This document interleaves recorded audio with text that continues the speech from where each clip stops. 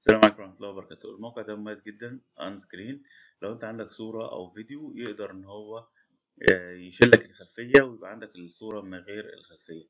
مثلا صورة زي ديت يقدر يحذف ال- ال- الصحراء وتحط بقى بعد كده أي حاجة أنت عايزها.